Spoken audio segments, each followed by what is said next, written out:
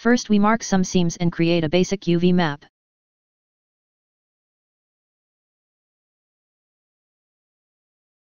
We can add the UV test grid image to see that there isn't any significant stretching going on. Now let's create two new UV maps and name the first one back and the second one front.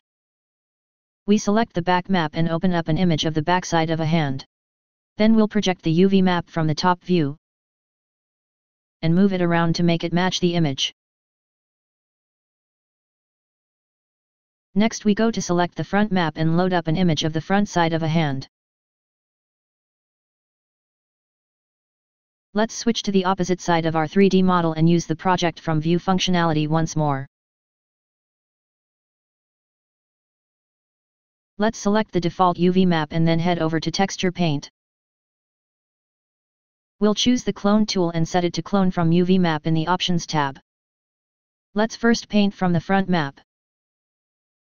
When the front is finished, we'll move to the back side of the hand and select the back map. Let's also close the gaps in the middle. To blend the two textures together, we can uncheck the Clone from UV Map checkbox and do some regular cloning which uses the 3D cursor as the source point.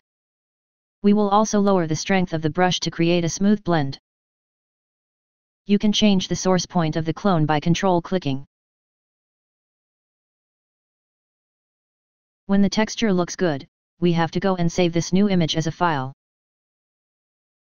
The last step is to give the 3D model a material with a texture. We select the UV map image file that we just created as the texture file. Next we'll set the mapping to UV and choose the default UV map from the drop-down. If we give it a quick render, we can see our texture in action.